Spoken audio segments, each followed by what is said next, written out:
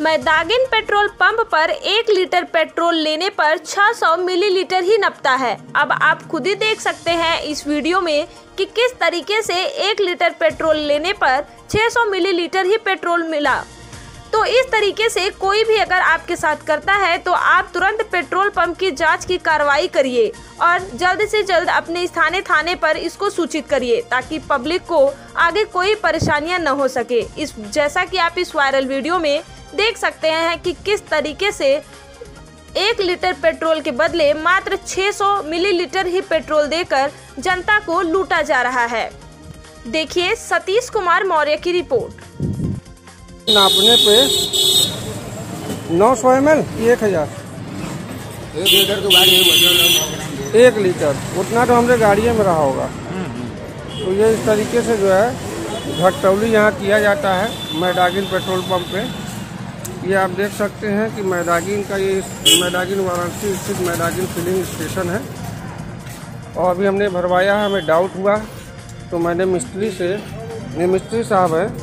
कितना पेट्रोल निकला भैया? अरे करीब एक लीटर दो सौ ग्राम होगा। एक लीटर दो सौ ग्राम। ऑलरेडी मेरे गाड़ी में पेट्रोल पड़ा हुआ था तीन से आठ सौ ग्राम। और लगभग नौ सौ एम जो है मिला एक सौ अस्सी रुपया देने पे। पेट्रोल की कीमत इस समय वर्तमान में एक सौ एक रुपये है। और एक सौ तीस रुपये का भरवाने पर नौ सौ एम हमें पेट्रोल प्राप्त हुआ है। ये है मैदागिन पेट्रोल पंप वालों की हेरा फेरी। अभी जानना चाहेंगे पेट्रोल पंप वालों से कि क्या गड़बड़ी ये लोग कर रहे हैं। ये जानना बहुत ज़रूरी है। ये बहुत ज़रूरी है जानना इस समय। कहा पूछ ले? भैया? नौ सौ एम एल ला है पेट्रोल। नौ सौ एम एल पेट्रोल ला है।